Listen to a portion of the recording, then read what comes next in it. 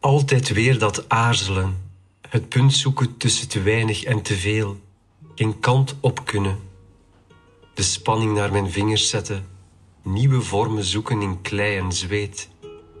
Ik wil bezitten wat voortdurend op de vlucht slaat. Streling en insnijding gaan hand in hand. In mijn hoofd hangen continenten van schaduw en vuur, echo's van oude meesters.